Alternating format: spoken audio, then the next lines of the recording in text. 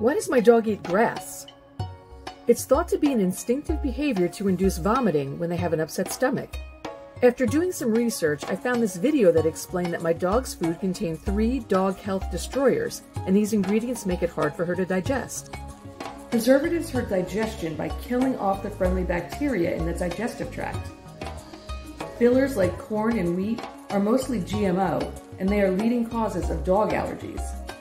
Meat byproducts have potential allergens and offer poor nutritional value. What's scary to me is what I decide to feed my dog can shorten her lifespan.